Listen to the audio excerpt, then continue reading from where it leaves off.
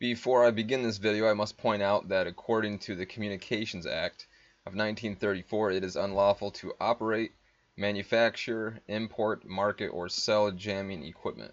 This video is for educational use only.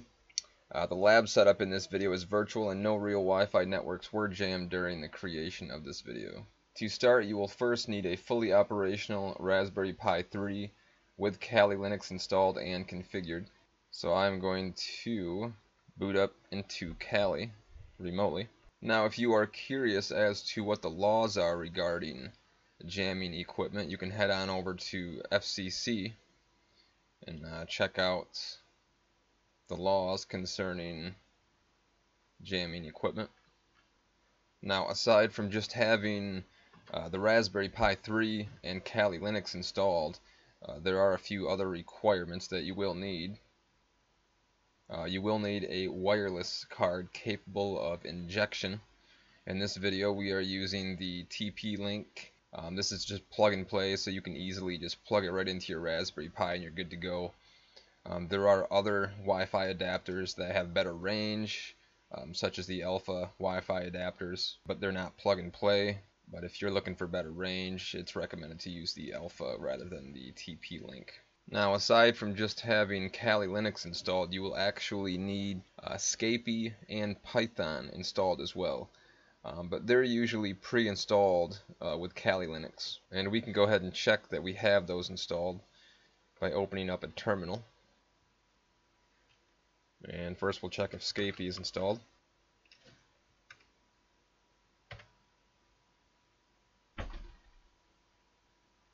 and as you can see it is already installed. And then we can check and see if Python's installed.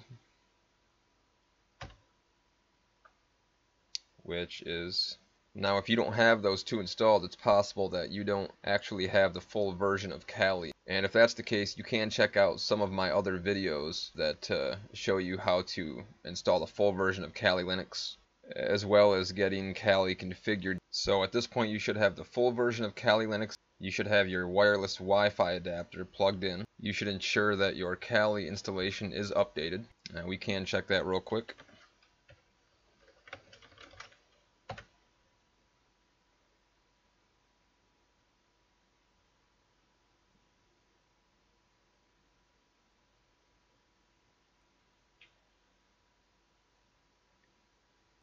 Okay, so now we have everything updated.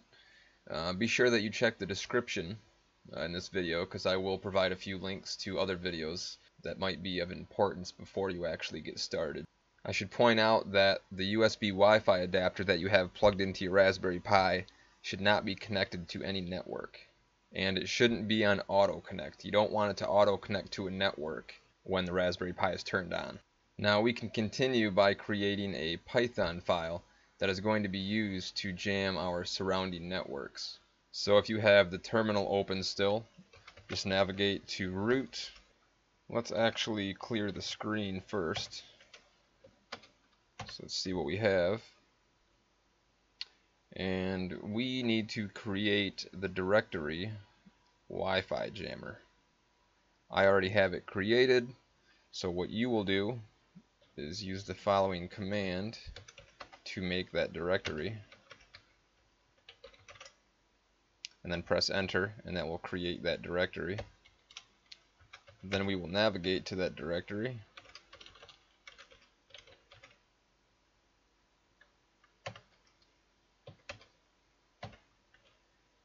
And then we will be creating this Python file called Wi-Fi Jammer and we can use nano to create that file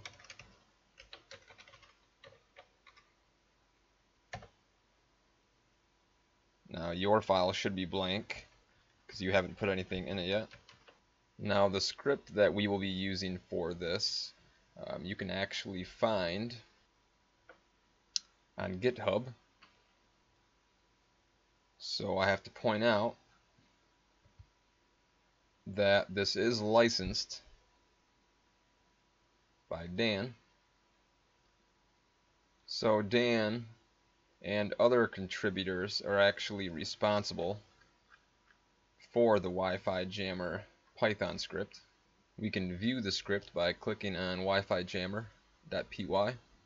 You can see the raw form and then we can just select all of this copy and then you would just paste it into your Wi-Fi jammer.py file. And then after you have it pasted just save the file control X Y and then enter to save it.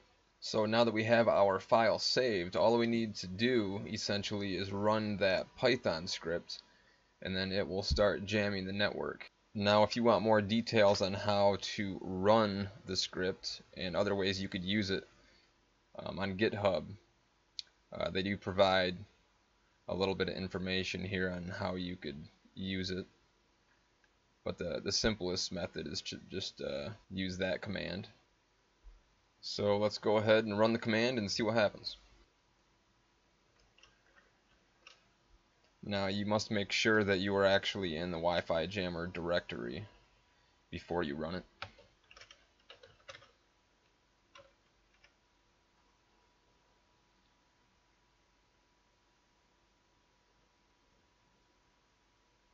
And as you can see it has started monitor mode using the USB Wi-Fi adapter.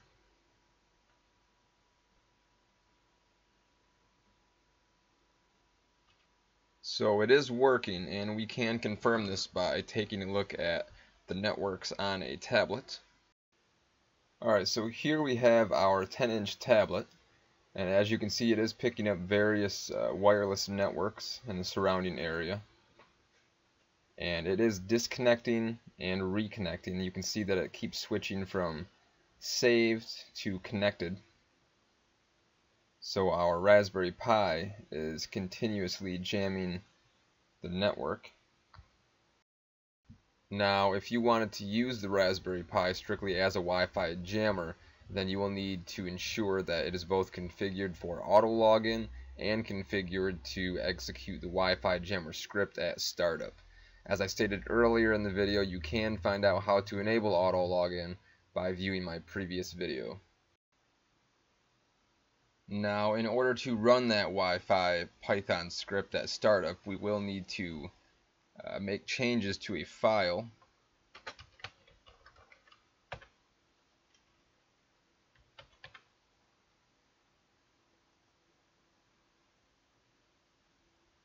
And that file is going to be rc.local and we can use nano to edit that.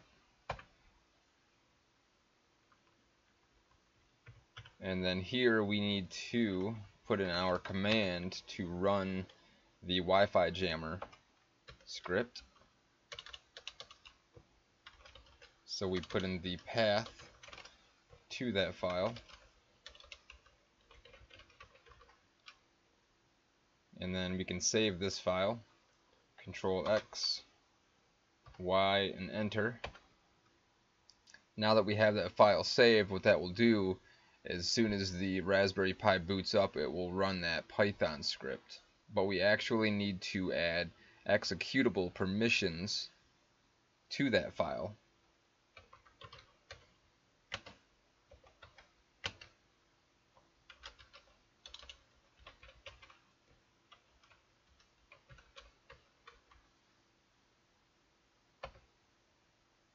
and now that we change the permissions for that file it will execute when it is ran uh, from RC local.